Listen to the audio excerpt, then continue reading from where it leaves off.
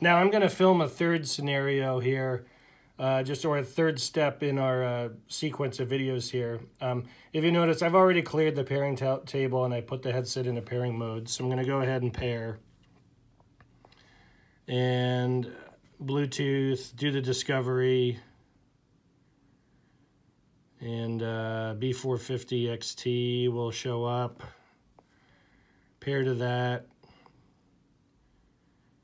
and make sure I got the checkbox signed. So now I'm connected. Now I'm going to show you how things don't work when you haven't bonded the Parrot button to the service through the BlueParrott app. So I'm just going to go direct into AT&T and hit the Parrot button.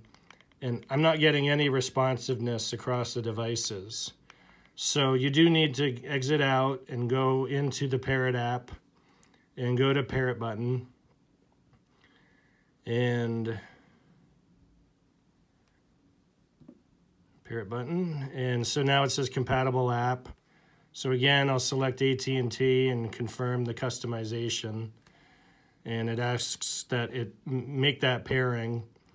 Um, and now now that I'm paired so even though I was in the AT&T app and it wasn't showing any responsiveness now that I have bonded the uh, app to the ser the parrot button to the service, I'll go ahead and press the parrot button. Now you see that it launched uh, AT&T, and so I go into the talk line, and then I have parrot button responsiveness and transmit. Parrot button responsiveness and transmit. So it, it is important, you know, in this sequence, the button must be assigned to AT&T using the BlueParrott app before you can have uh, responsiveness within the app itself.